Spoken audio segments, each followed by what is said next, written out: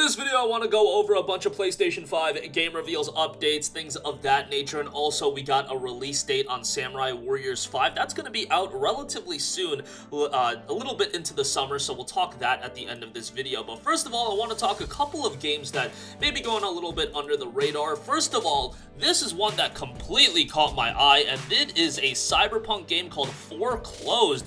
Really cool art style in it. I know Cyberpunk, the genre, is kind of in focus right now after Cyberpunk 2077. Maybe people are looking for a higher quality Cyberpunk title. I didn't completely hate Cyberpunk 2077.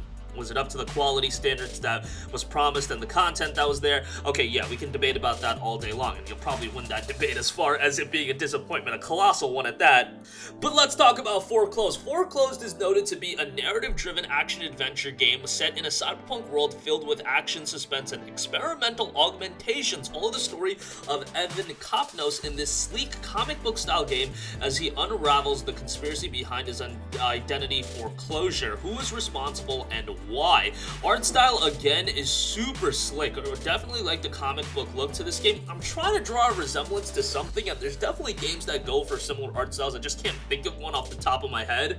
But I'm digging the vibe of the game. It combines the playability of video games with the sleek visual aesthetic of comic books. Everything from gameplay to cinematics are experienced within this stylistic framework of a graphic novel, full screen and comic panel perspectives, and seamlessly blended as you move throughout foreclosed cyberpunk city, uncovering a gripping conspiracy story. Cutscenes and uh, are also interactive and transition smoothly between alternative gameplay styles.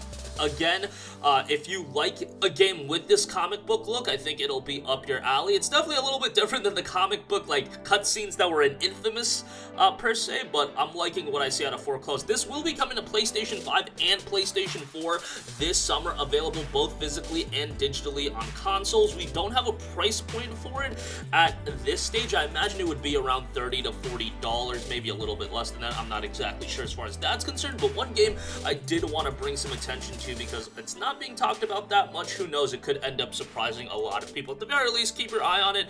Might be one that you end up enjoying later this year. Okay, next up, we have a survival horror action title, and that is Tormented Souls. This is being published by PQube, coming from developers Dual Effect and Abstract Digital. The survival horror game noted to be inspired by the original Resident Evil and Alone in the Dark series with a fresh twist on the fixed perspective adventure. Tormented Souls modernizes for a new generation as Caroline Walker investigates the mysterious disappearance of twin girls in a terrifying mansion. I don't know how much you guys are into throwbacks of the original Resident Evil and games like that. They're not really my cup of tea, but I do understand that there are definitely an audience for. Tormented Souls deliberately sets out to draw inspiration from classic survival horror titles from Resident Evil and Silent Hill to Alone in the Dark. Tormented Souls is a modern take on that adventure. You'll need much more than a steady aim and sharp reflexes to make it all alive. Search the environment for anything that you can use to your advantage. Cleverly combine items to solve puzzles and use every resource available to explore the secrets of the mansion and its grounds. Nothing is quite as it seems at Winter Lake. Mirrors provide a path to an alternate reality and another place in time. By crossing these shimmering gateways, Caroline can manipulate the very fabric of reality in surprising ways, turning the situation to her advantage. Horror games aren't really, you know, a genre that I'm super, super into. You know, I definitely like playing them during Halloween time and things like that. But I do know there's this audience of people that just want you know, classic horror games, and I feel like Tormented Souls could be that. Now, this was supposed to get a PlayStation 4 and Xbox One version. Unfortunately, those versions have been canceled and are no longer planned. It will be coming to PlayStation 5, Xbox Series, and then it will also be coming to Nintendo Switch. So they are getting it on a lesser powerful platform. I'm sure they'll get it to run fine on the Nintendo Switch, but unfortunately it won't be coming to PS4 and Xbox One, so a little bit of a bummer there, but you'll be able to get it physically or digitally if you're interested. By the way, the physical and digital copy will only be for PS5 and Nintendo Switch. It'll be available digitally for Xbox Series and PC when it releases later in 2021.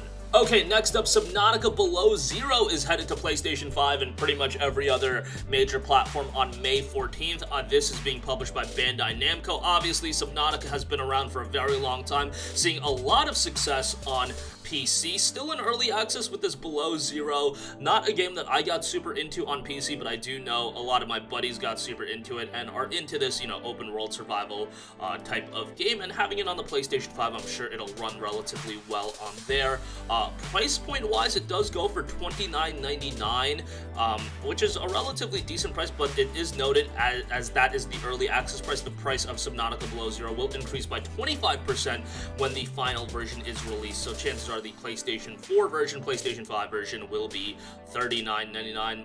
And uh, yeah, I still think that's a pretty decent price for a game like this especially given that these games are designed for an incredible amount of replayability. By the way, Below Zero has been very, very well received on PC. 28,000 Steam user reviews, 93% of those reviews being positive, so again, pretty decent reception as far as things are considered with that. Okay, the Persistence Enhanced Edition has also been announced for PlayStation 5, Xbox Series, and PC. If you do have the Persistence, this will be a free upgrade, so yeah, not gonna have to pay anything for that. It is noted the Persistence Enhanced challenges you to survive aboard a doomed deep space colony starship in the year 2521, overrun with horrific and murderous aberrations with light, lightning and user, exper uh, user experience enhancements and ray tracing dialing up up the atmosphere and tension. Immersive haptic feedback is also supported on the DualSense for the PlayStation 5. Stranded, malfunctioning, and caught in the inexorable pull of a black hole, the Persistence is overrun with a crew mutated into horrific and murderous aberrations. It's down to you, a clone of security officer Zimri Eder, to make your way across deeper in the decks of the Persistence to repair the systems and prevent the ship from being torn apart. So that is due out sometime in 2021. Thankfully, it is a free upgrade. I mean, with a game like this, you probably couldn't get away with charging for an upgrade, nor do I think they wanted to do that anyway. They seem, the Firesprite seems to be pretty cool about that kind of stuff. So good on them. The Persistence was relatively well received when it originally came out, so you can check it out on the PlayStation 5 with some upgrades and things like that. This is a game that runs in both standard and VR modes, uh, but it does not require a VR headset, so you can play it without the VR headset. Lastly, I do want to note Samurai Warriors 5 has been getting quite a bit of attention. It'll be coming to PC, PlayStation 4, Nintendo Switch, and Xbox One. A lot of questions were asked about the release date of the game, and it is going to be coming very, very soon. July 27th, I mean, very, very soon might be a little bit of a stretch, but you get the idea. Not that far away, five months, and get to see some games coming in the middle of the summer. I always thought it was kind of weird how games never release in the, you know, just in the middle of the summer. Last year we got Ghost of Tsushima, obviously not originally scheduled for a July release, but hey, drop some games in June, July, August. I think they'll do relatively well. Especially the month of July, it's always usually relatively quiet, so a game like Samurai Warriors 5 might actually get a decent bit of attention. There will be a digital deluxe edition available worldwide, and that'll include some downloadable items. Uh, so yeah, you can check that out. July 27th in the West, and then June 24th in Japan. And that's going to conclude this video. Again, a lot to go over in this one. Foreclosed is definitely the game that caught my eye this morning. Definitely excited to check that out sometime in the summer. Hopefully, you know, fingers crossed with the release being intact. Tormented Souls for you horror buffs, probably something you'll dig. Subnautica Below Zero dropping May 14th.